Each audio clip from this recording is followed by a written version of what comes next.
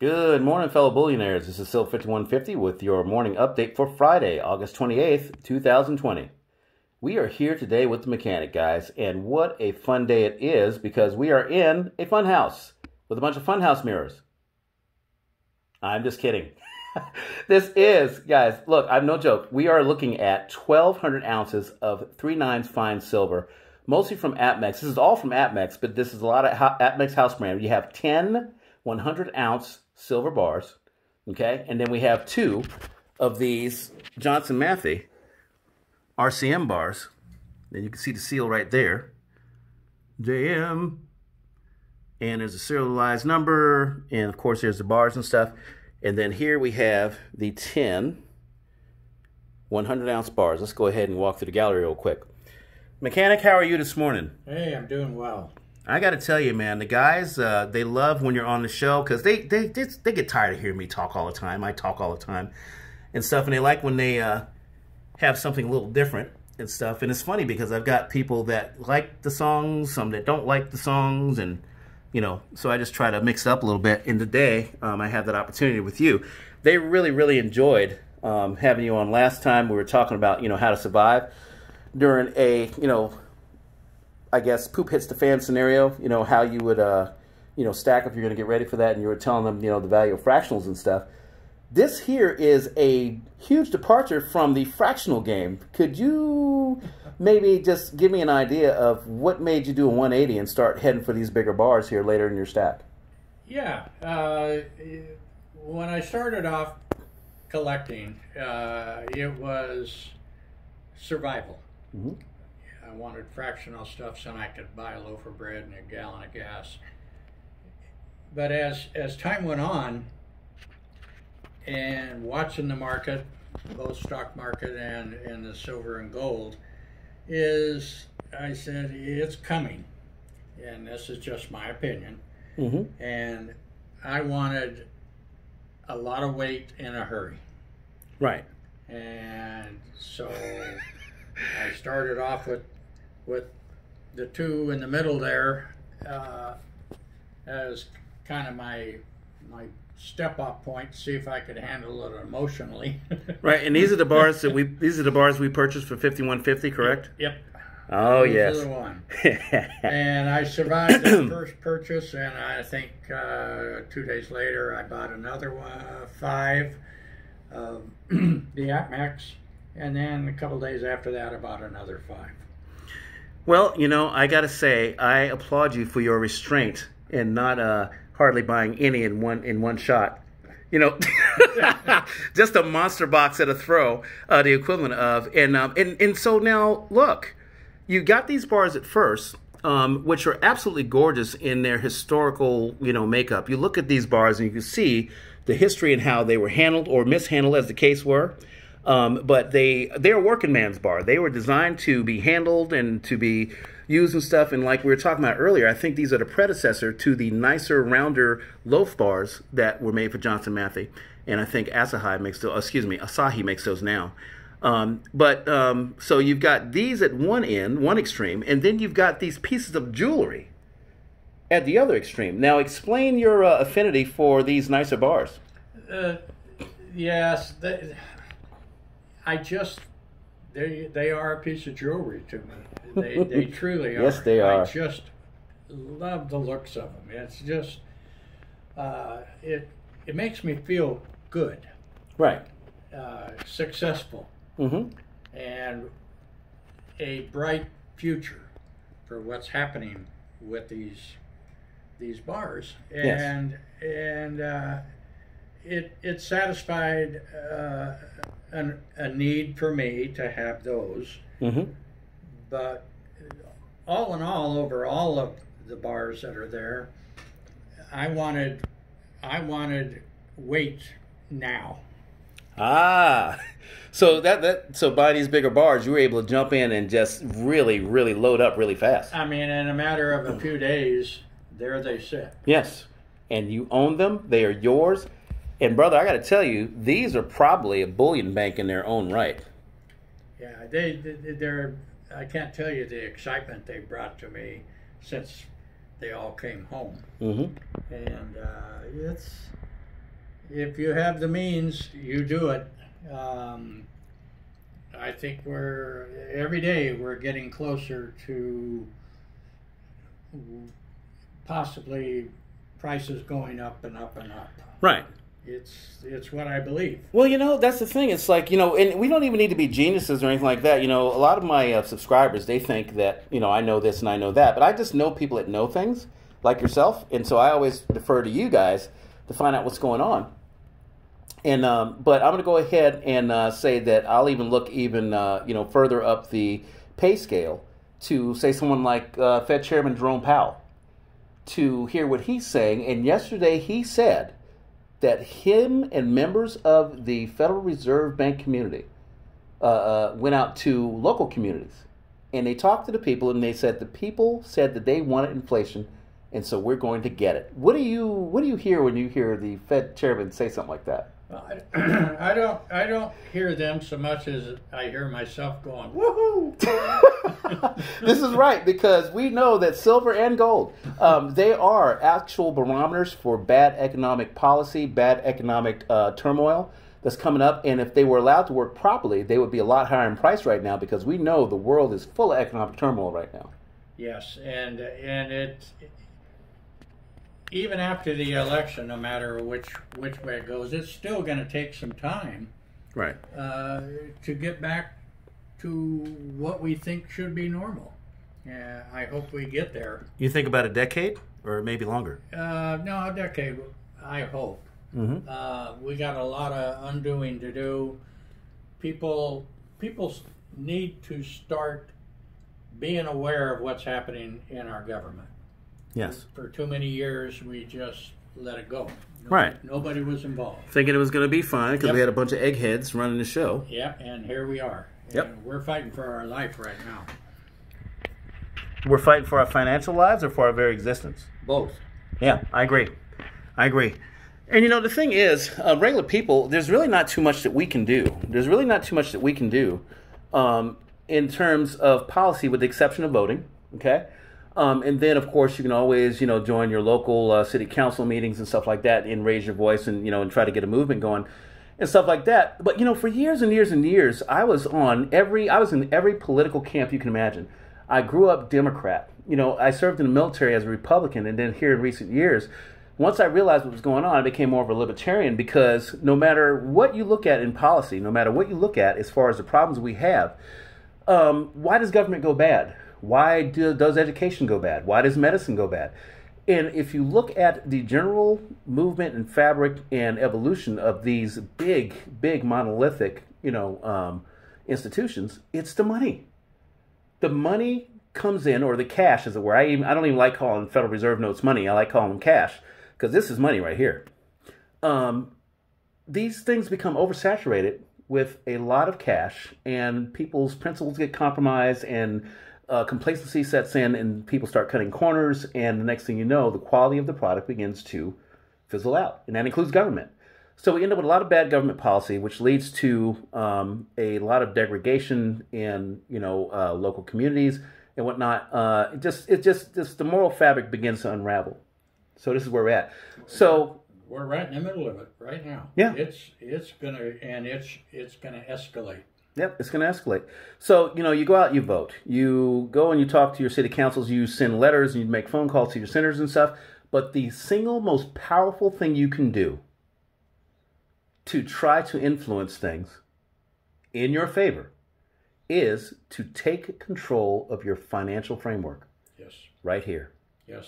This is it. And this is the ultimate statement in that. And, and these bars are the ultimate statement in that. So, guys, if you're thinking about stacking and you've got like some big stack budget, you know, like you're getting ready to liquidate a 401k, just know that these bars, bars like these, these are the final statement in stacking. You're stacking these right here, and you are as serious as serious is going to get. Only only person more serious is probably Eric Sprott or Keith Neumeyer. They have thousand ounce bars, but they can't even lift them.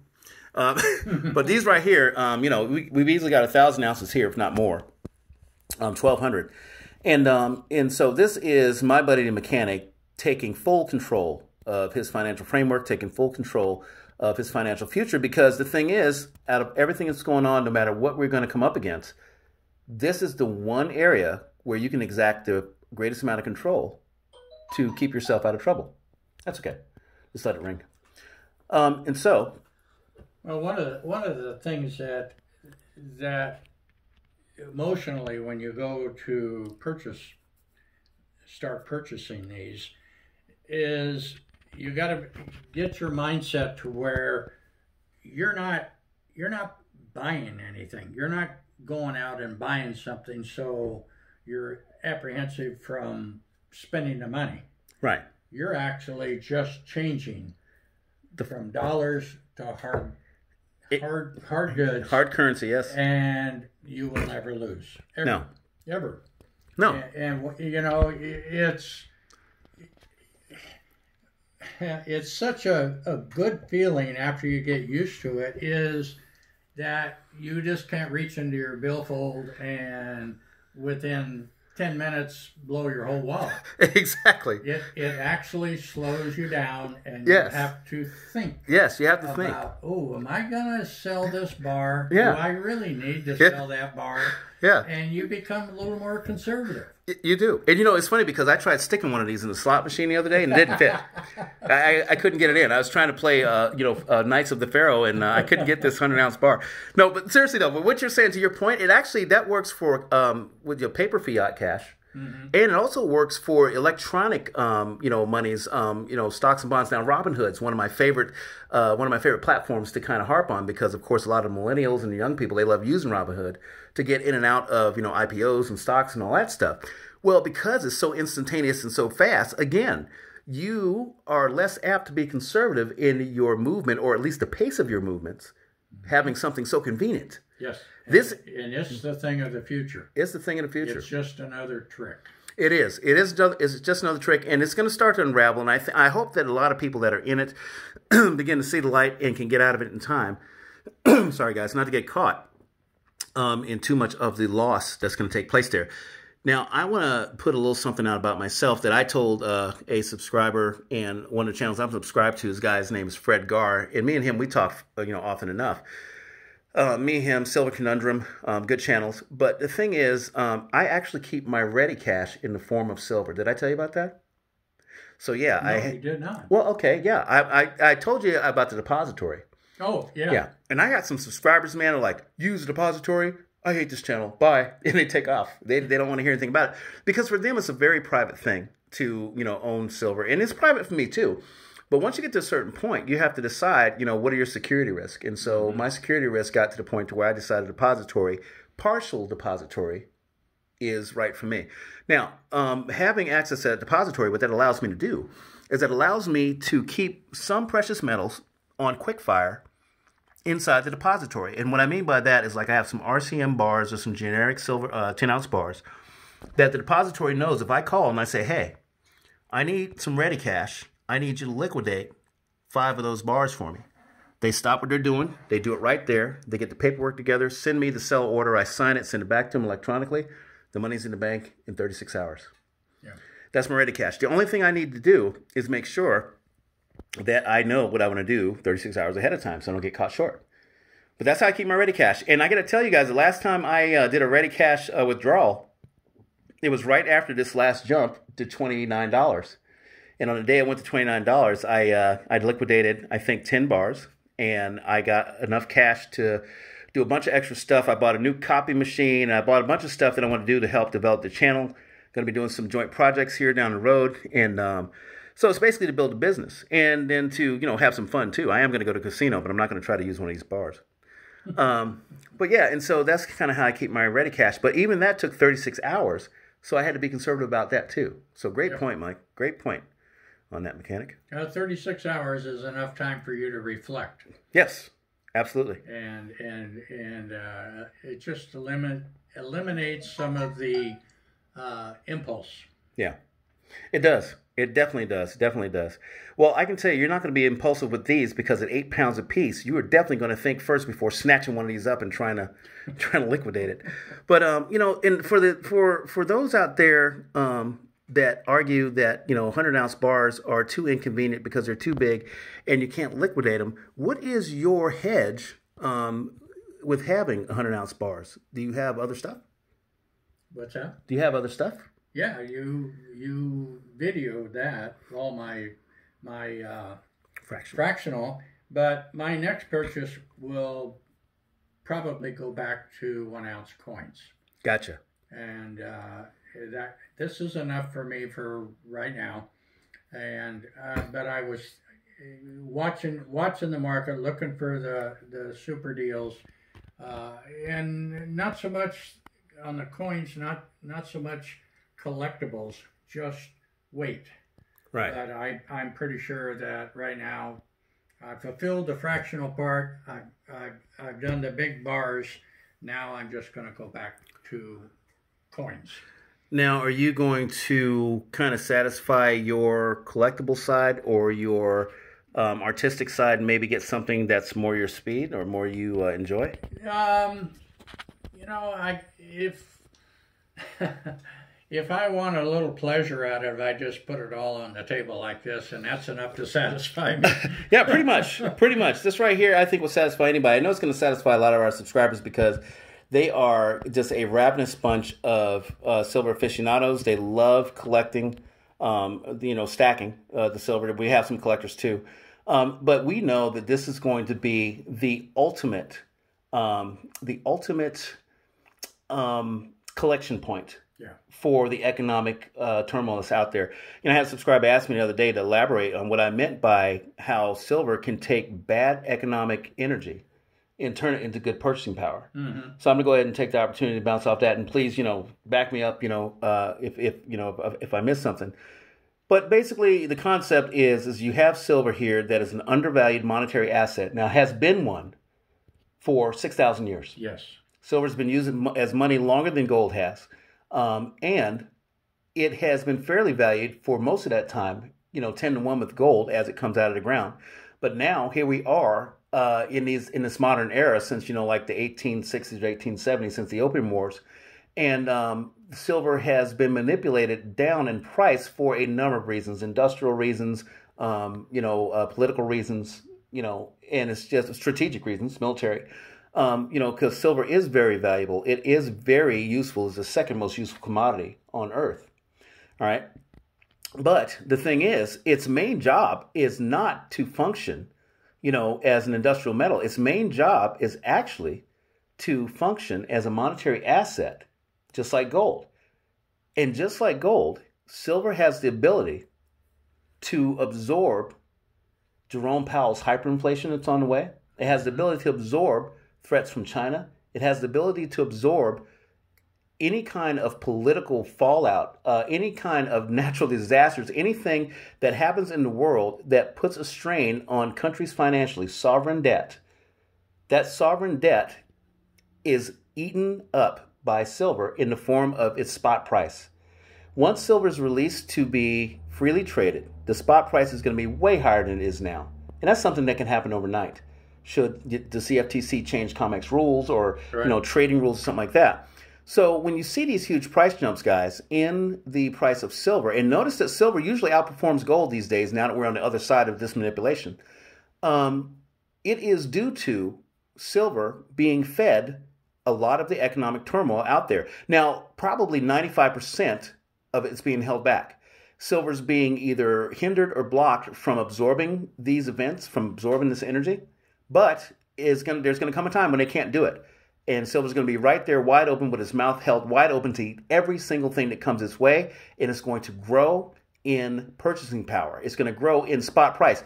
That's denominated in dollars. Once we get beyond a dollar paradigm, and the dollar is no longer trusted, or it has become a thing of ridicule, silver will still be purchasing power. It will still be money. In fact, I envision a day when you go to the gas station mechanic. You go to the gas station, you'll see um, the first line is a one dollar sign, uh, but it's silver, mm-hmm. and then below that is a cash price, and then below that is a credit price at the gas station. Yep. And for you know um, a gallon of gas, you know in silver it'll be a gram or something, you know, maybe or even less, or maybe it'll be a tank of uh, a tank of gas for like a silver eagle or something. Right. Yeah. Well, another another thing we should watch, mm-hmm. and, and it, I kind of use this to to back up uh, to make sure that I'm heading in the right direction. but look at the value of our dollar to other foreign currency. Yes. Uh, I happen to pay a lot of attention to Philippine peso. Yes. And it, I, I've watched our dollar going down every every month it goes down. Mm-hmm. All right, but the silver is holding its own. At the least. Yeah. Yeah. At the I mean, least. I, I say that yes, we know it's gone up, Right. but it's holding its own. Even if it held its own, you're still winning. That's the thing I try to tell people. You know, it's like, hey, if you're doing bad, but your neighbor Bob is doing nothing, then you're ahead. Yes. You know, Yeah. if you're making a dollar a week and your neighbor Bob owes 10, Yeah. you're rich. You're rich. You know, That's that's, the thing. exactly It's like you don't have to be making these great, ridiculous strides to um, to beat the game. And I even tell my subscribers, you know, the 12 ounces to your name puts you 99% ahead of the game. Yep. But you know, you really want to be 100% of the game. and guys, this right here, this is like 10,000% ahead of the game. Just for the record, you don't have to do all that. Uh, it's cool if you do. I mean, you you can't lose. But my point is, is that you know, just doing something, being awake, being aware, trying to um, take advantage of what's available to us now is going to make such a big difference later. Oh yeah. It really is. Did you see what happened to the Turkish lira? You're talking about currencies earlier. You see what happened to the Turkish lira uh, last week? Oh. So basically, the Turkish lira now is being devalued again, and um, it went down, you know, some ninety-seven percent over the last, Oh, eh, probably over the last, you know, a year and a half.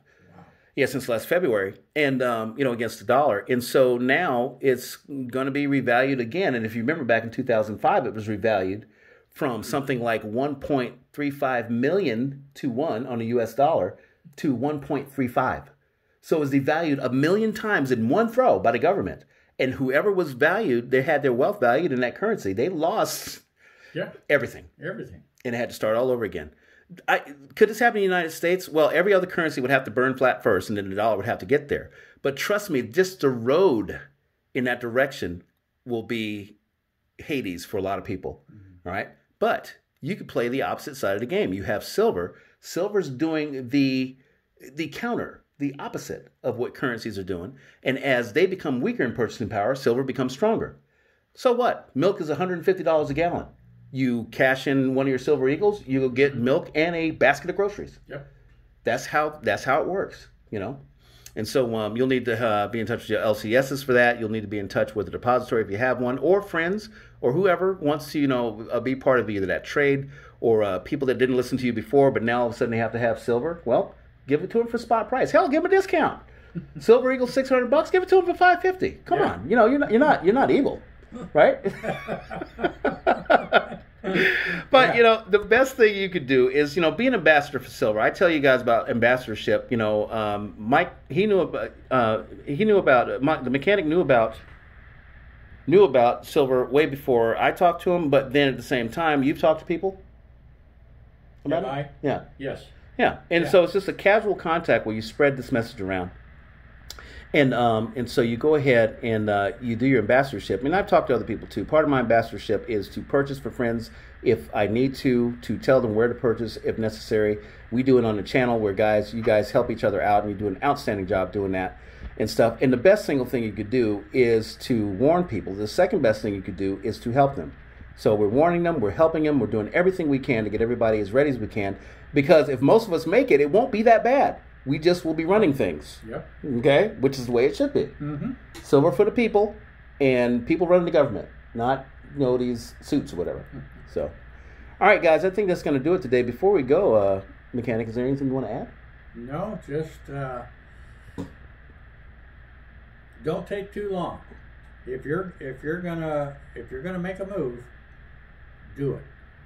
Just do it. You you know in in a few months you'll be very glad you did. Amen to that, and that's very true. Yeah, guys, anything you can get, get your hands on. Okay.